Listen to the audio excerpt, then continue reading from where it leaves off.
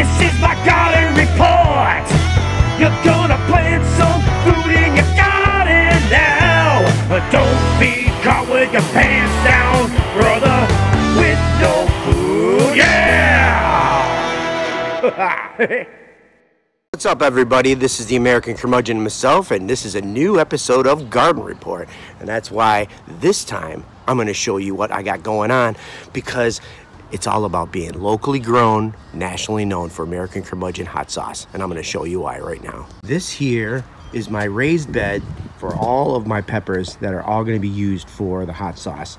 These right here are all jalapenos. These right here are all habaneros. And these two guys right here are cayenne peppers. These are all to be used for American curmudgeon hot sauce. Habaneros are for golden fire.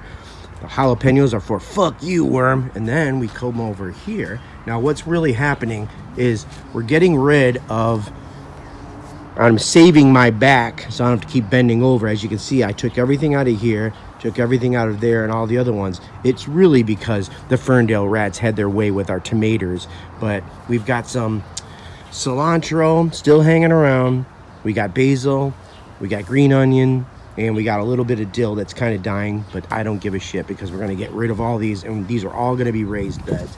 Like we got jalapenos right there. These are all jalapenos right there. So sooner or later, over here, oh, and we also destroyed our shed, and we've got one of our amazing horses taking its place, keeping keeping the, the riffraff out. And right here, we got the raised bed right there, and we're gonna put the raised bed and another raised bed and another raised bed. These are all going to be jalapenos. Not one part of this garden is going to be wasted at all. It's all going to be used for American curmudgeon hot sauce. As you can see, we got a lot going on over here.